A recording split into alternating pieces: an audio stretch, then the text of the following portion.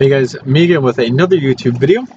Today we're going to be taking a look at the SVU Mark III. I have made three different versions of this, this one being the third one, and this one being the one that I am the most happy about. So, um, flashback to ages ago, I made a Dragunov that was based off of uh, super old model. So let's just go ahead and do this.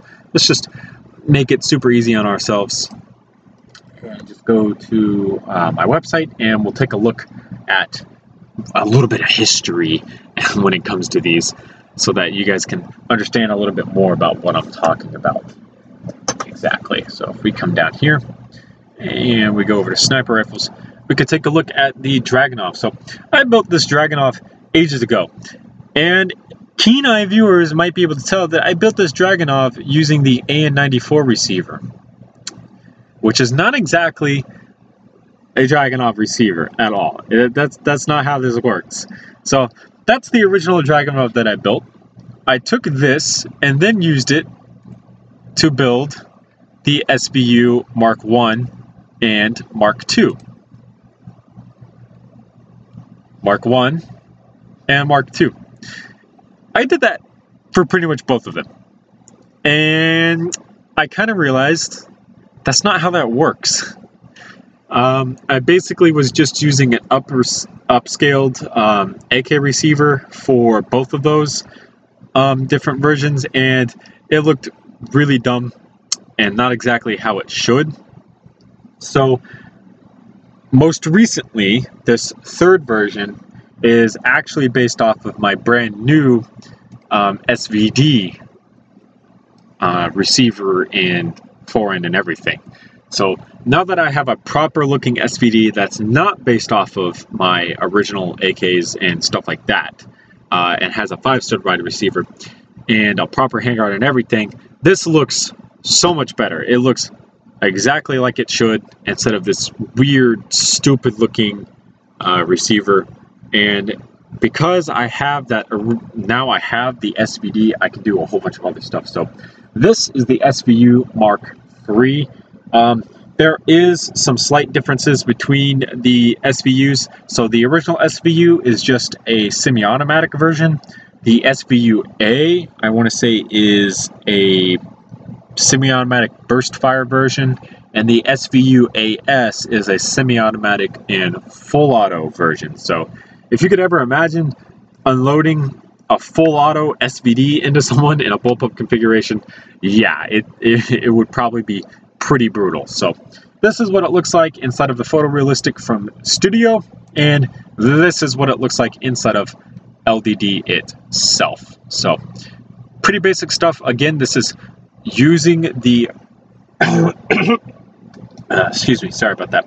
This is using my um, SVD receiver and everything. So this is a much beefier build than um, my originals. So yeah, fun times.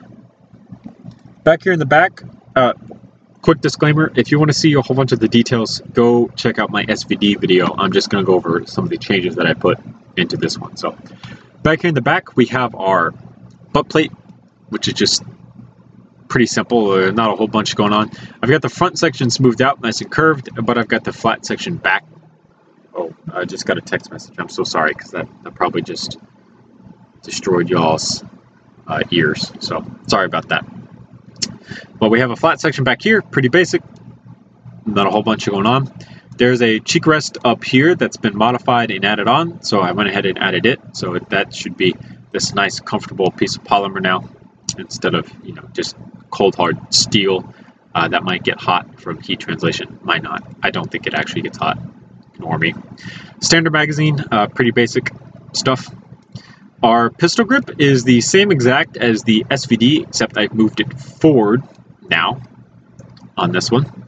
Uh, trigger guard and everything is slightly modified and it sticks out the bottom of the um, wooden, well, I guess this is polymer, but it sticks out uh, in this weird kind of ridge looking thing because there's this trigger bar that goes back here. Yeah, all this yeah, bullpups and stuff, pretty, pretty weird stuff.